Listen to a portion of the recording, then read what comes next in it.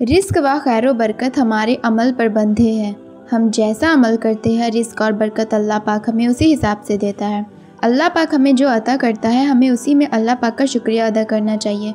लेकिन कई बार ऐसा होता है कि हम रिस्क और बरकत हासिल करने के लिए कई सारी दुआएँ मांगते हैं, वजीफ़ा पढ़ते हैं, लेकिन हमारे घर में रिस्क की बरकत नहीं होती।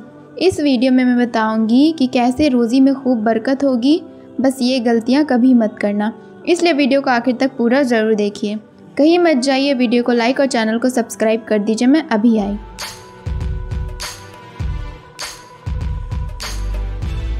नंबर सेवन अल्लाह पर यकीन।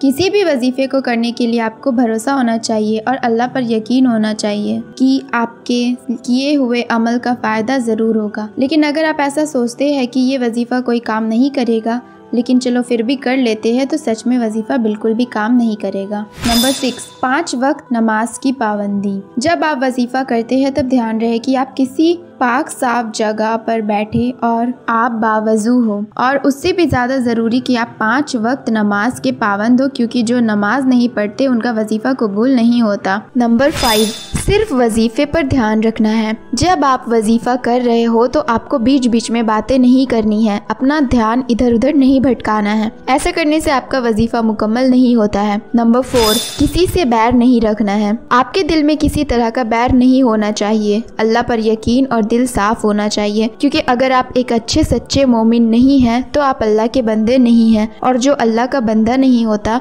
उसकी दुआएँ अल्लाह रद्द कर देता है। नंबर थ्री, दुआ मुकम्मल होने से पहले ये चीज़ याद रखें। आपके दिल में जो भी ख्वाहिश है, आप जिसकी वजह से वजीफ़ा कर रहे हैं, वो बात आपको, आपकी दुआ मुकम्मल होने से पहले किसी को नहीं बतानी है और आपको चुपचाप वजीफ़ा करना है। नंबर टू, लालच नहीं करना है। लालच की नीयत से मांगी हुई दुआ और किया गया अमल कभी भी कबूल नहीं किया जाता।